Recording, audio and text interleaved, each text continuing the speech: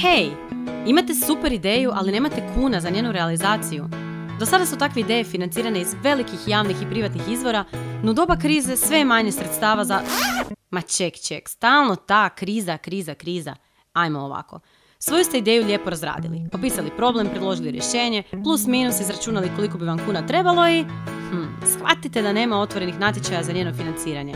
Odustat ćete? Ma ne. Što ako se vaša ideja sviđa i vašem susjedu, šefu, vašoj frizerki, prodavačici u omiljenoj trgovini, Facebook prijatelju, prijatelju prijatelja? Možda imaju kunu viška, a kasice za vašu ideju nema nigdje. Ne brinite, doniralica je rješenje. To je online servis gdje je lako predstaviti svoju ideju za koju tražite donaciju, a znamo da se društvenim mrežama poput Facebooka i Twittera dobre ideje brzo šire. Građani su spremni podržati dobre ideje ako imaju jednostavan i učinkovit alat.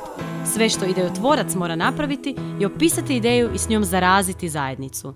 Vaši sugrađani moći će putem interneta, pa čak i SMS-om donirati makar i jednu kunu, a doniralica će se pobrinuti da svaka kuna nađe svoj put do vaše kasice, ali i da donator zna da je na pravo mjesto otišla ona njegova. Jednostavno, zar ne? Doniralica. Pomozi nam da zajedno ostvarimo ovu ideju. Glasite za doniralicu na Zabinoj Facebook stranici.